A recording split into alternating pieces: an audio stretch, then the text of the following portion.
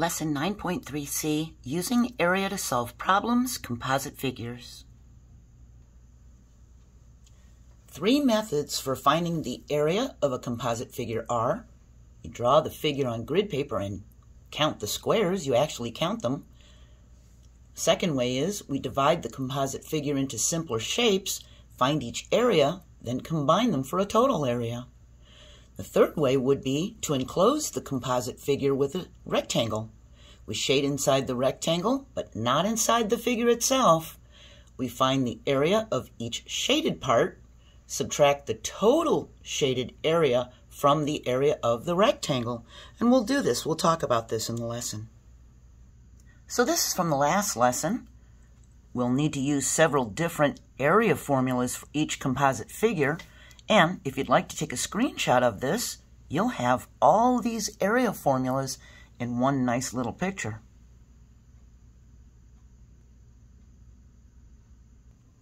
So here's our first problem.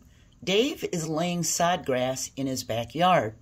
Each unit, so that means each square, represents one yard. The sod costs $10.80 per square yard. How much will it cost?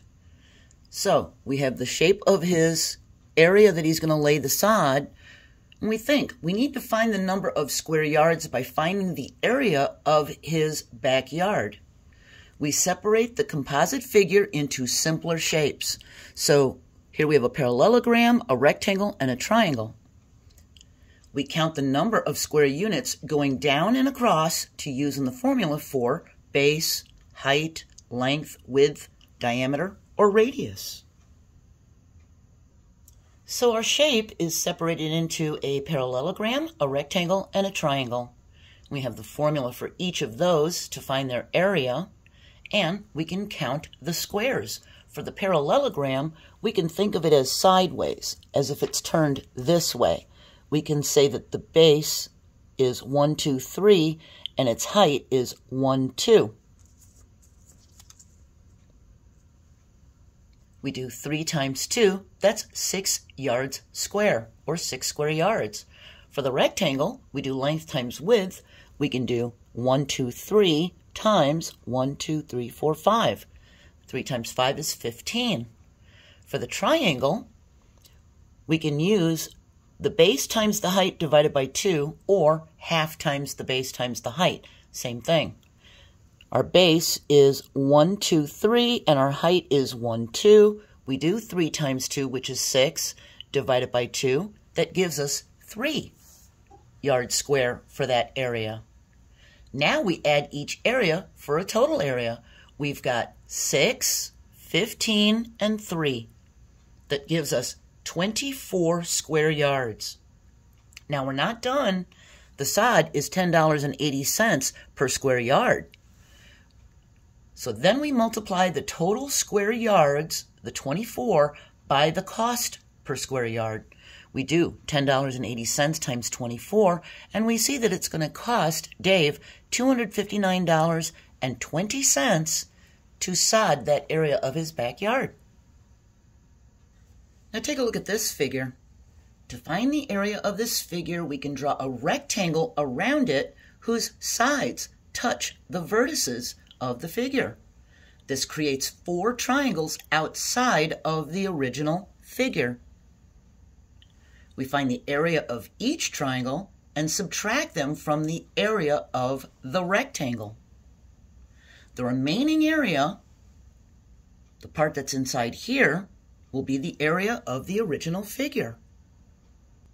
Since it's drawn on grid paper, we can find the area of the rectangle we count the number of squares in the length, the units, and we do the same for the height. We get 14 by 5. We multiply that and get 70 units square. Now we need to do each triangle. So we have triangle 1, 2, 3, and 4.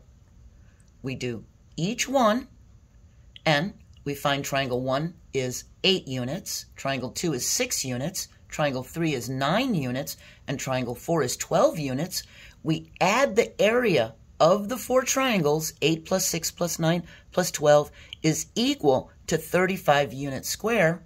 Now we subtract that triangle area, the 35, from the rectangle area, 70.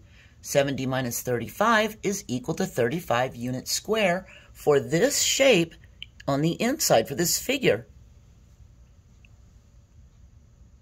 Now this is a good way to find the area of a figure when we see that it has an irregular shape. Look at how small these little triangular pieces are by this vertex or by this vertex. It's not like it's half of a unit or anything. So this is the most efficient way, an accurate way, to find the area of this figure on the inside. Now take a look at this shape. It's like a stretched out circle, isn't it?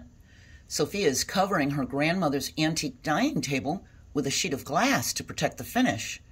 Each unit length represents one foot, and the glass costs $5 per square foot how much will it cost?